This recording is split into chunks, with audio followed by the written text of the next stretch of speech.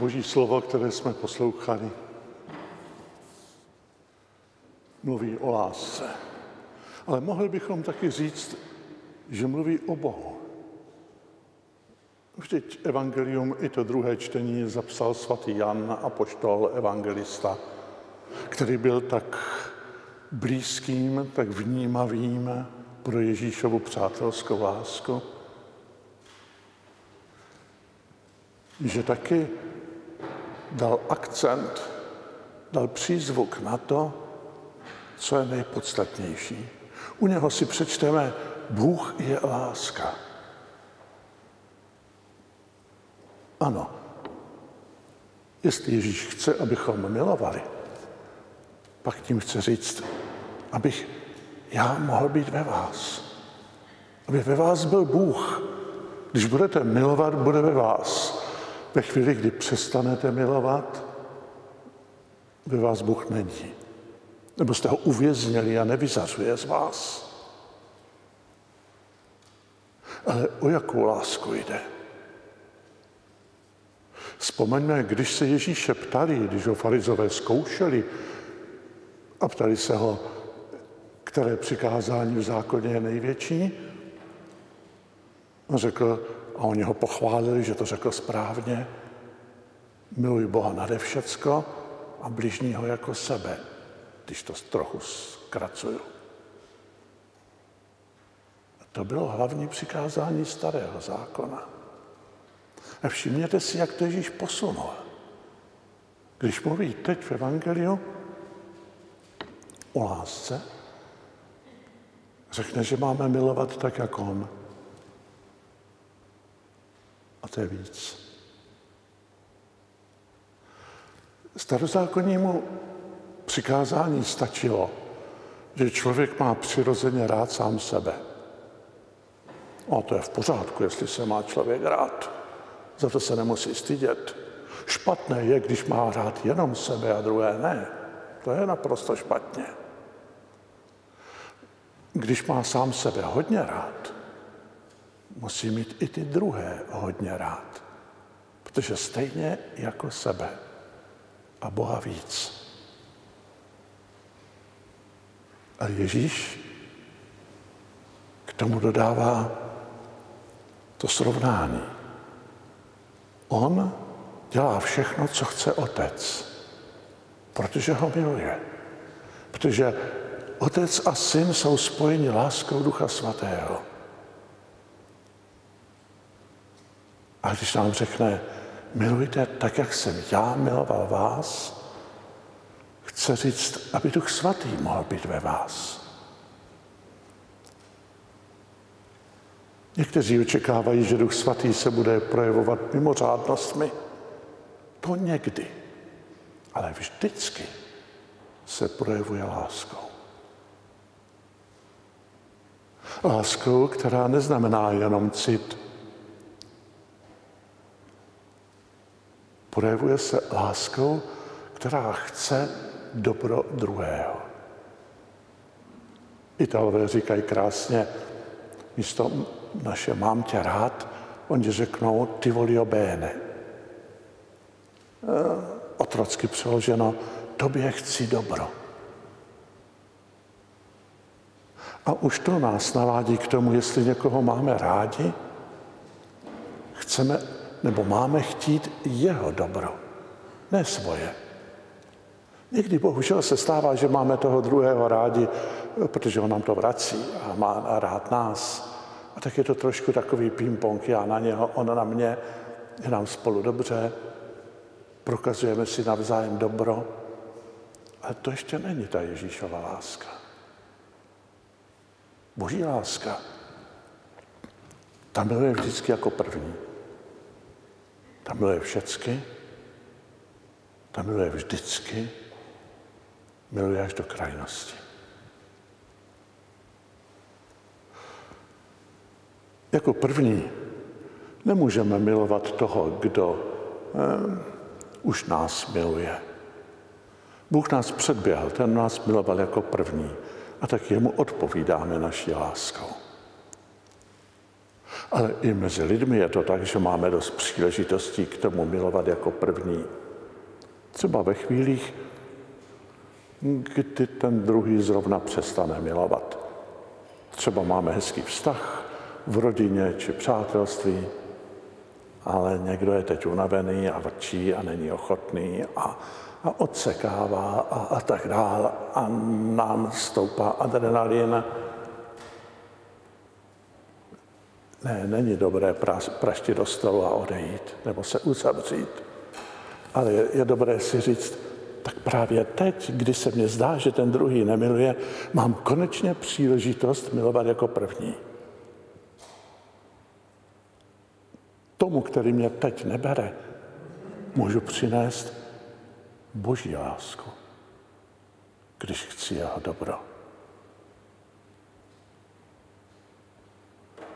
Bůh miluje všecky, tak jako slunko svítí na všecky.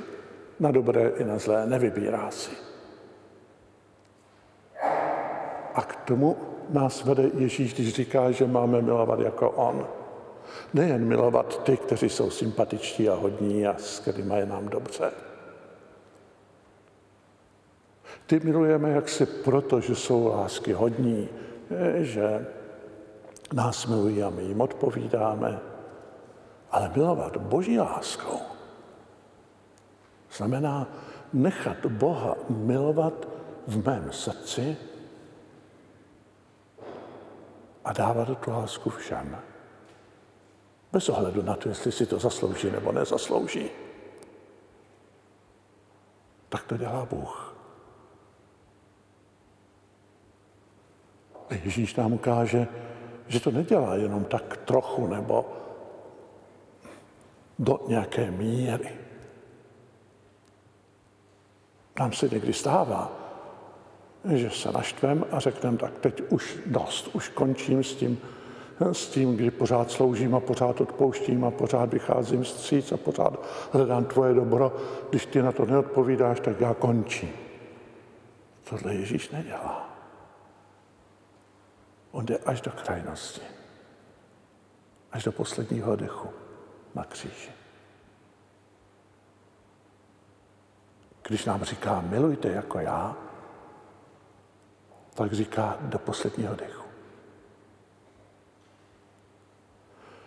Snad by bylo dobře si občas v takové chvíli, kdy jsme takový napružení a říkáme už dost, by bylo dobře se ptát, tak je to už do posledního dechu?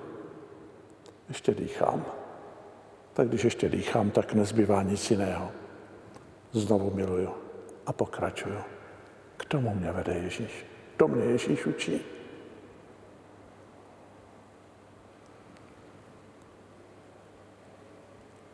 Ale co znamená milovat? Kdo mě miluje, ten zachovává moje slovo, říká Ježíš. Jemu nejde jenom o pěkný cit nebo o hezká slova, ale jde mu o to, abychom ho skutečně přijali. A přijmout jeho slovo. To znamená přijmout jeho. Boží slovo vyšlo z Boha a Bůh je v něm. A když já přijímám Boží slovo, přijímám Boha.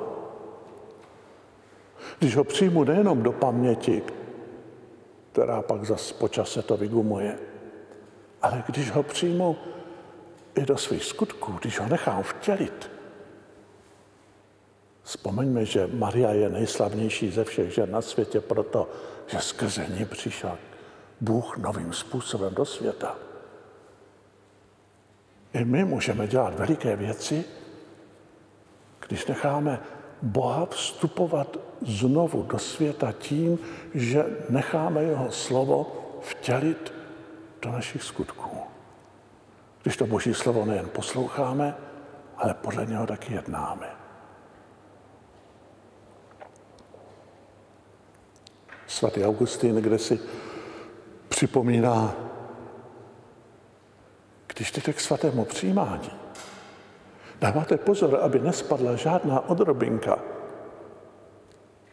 protože víte, že je to, že je to Kristus. Ale neměli byste se tak podobně chovat i k božímu slovu? To je taky Bůh, který k nám přichází, jen trochu v jiné podobě. Taky bychom neměli nechat Boží slovo ani žádnou jeho odrobinku nechat spadnout na zem a pošlapat.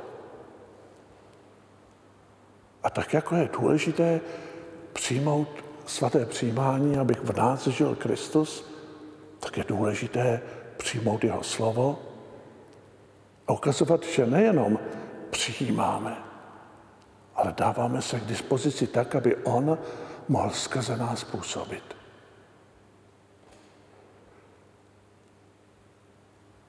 To všecko se dá vyčíst z toho dnešního úryvku Evangelia.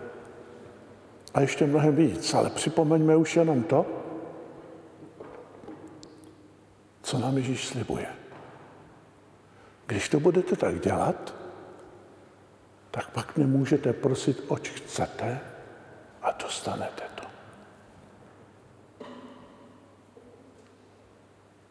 Vidíte tu fantastickou věc, kterou nám Kristus svěřuje? Ale samozřejmě ten, kterému záleží na Ježíšově slově, který ho žije, který se dívá na Ježíše takovým pohledem, že, jak se lidově říká, dělá, co mu na očích vidí. Ten nebude prosit za věci své. Ten bude prosit za věci, které jsou v souladu s Ježíšovým viděním. A když jsme v souladu s Ježíšovým viděním, pak můžeme počítat s tím, že se splní všechno to, co chceme, když to chce On.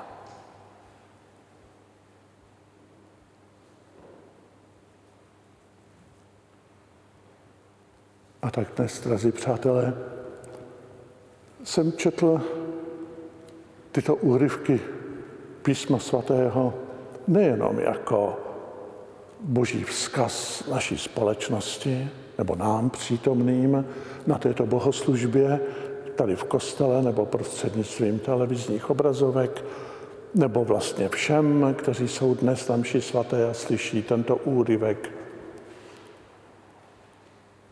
ale spojuju si to i s tím posláním televize Noé,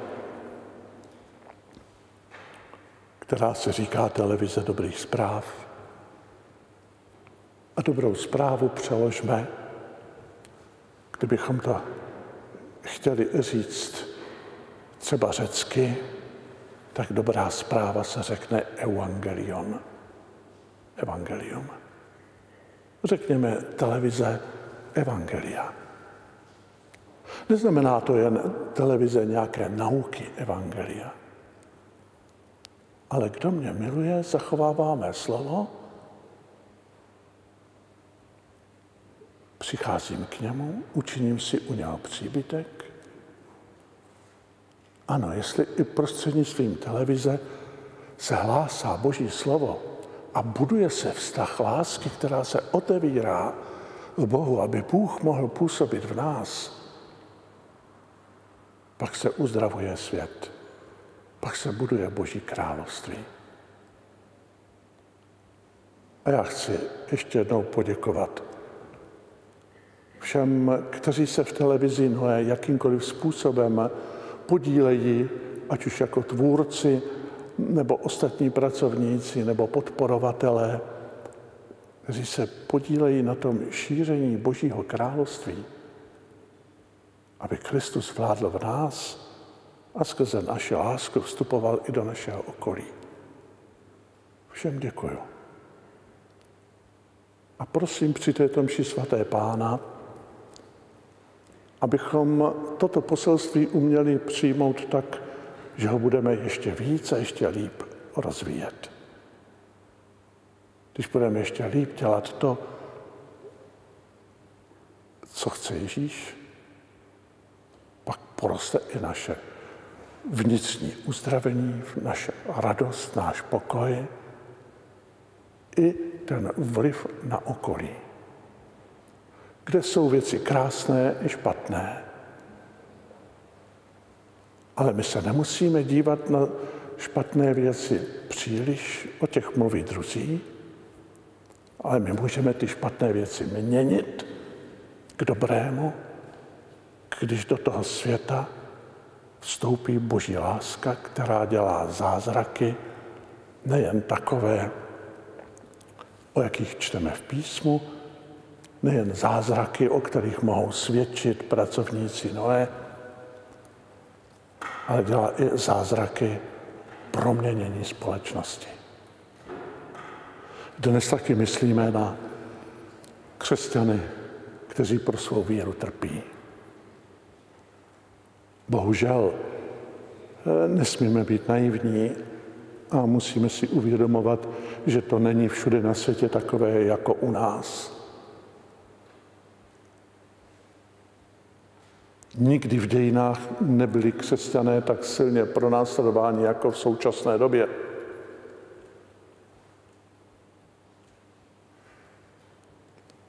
Kolik mučedníků je pro víru v Krista zabito každý rok. To jsou obrovská čísla. Kolik lidí kvůli tomu, že se ke Kristu přihlásí, nemůže na školy, nedostane slušnou práci, nebo dokonce přichází o majetek a žije ve stálem eh, napětí a strachu o život. Je dobře si to občas připomenout. Připomínáme si to proto, abychom za ně prosili a budeme za ně prosit i v této mši svaté, ale taky, abychom se s nimi trochu srovnali a uvědomili si, že když to máme nesrovnatelně lehčí, tak je třeba, abychom byli taky nesrovnatelně aktivnější a hrdinštější, než jsme. Protože oni nás k tomu zvou, oni nás k tomu volají. A jedna příležitost je i teď před námi. Zdá se, že pandemie ustupuje, i když musíme být dále opatrní, ale ve chvíli, kdy se otevřou obchody a hospody, to berme tak, že jsou otevřené i kostely. A berme to tak, že od té chvíle už nebudeme plnit nedělní povinnost u televize nebo u rádia, u počítače, ale přicházíme do společenství církve. Výjima těch, kteří jsou nemocní, kteří jsou starší a už nemohou. Jistě pro ty bude důležité, aby měli příležitost dál být na mši svaté aspoň prostřednictvím sdělovacích prostředků. Ale pro všechny nás ostatní tady bude nutné se vrátit do kostelů a vytvářet společenství. Nevím, jak vám to připadlo, ale já jsem si vždycky říkal, být na mši svaté třeba přes televizní obrazovku je, je krásná pomoc. Ale tak trochu podobná, jako kdyby mě někdo pozval na svatbu a řekl, e, já to budu přenášet.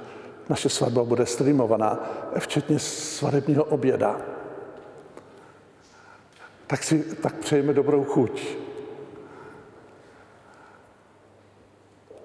To společenství, vztahy, atmosféra i nakonec ta hostina svadební, to je jako účast na bohoslužbě. Když ta příležitost není, tak díky Bohu za to, že aspoň můžeme být na dálku. Ale když se ta příležitost vrací, zvu všechny k tomu, aby otevřeli svá srdce a spolu vytvářeli živé společenství, které je znamením Boží přítomnosti a je znamením Boží lásky pro svět kolem nás. Amen.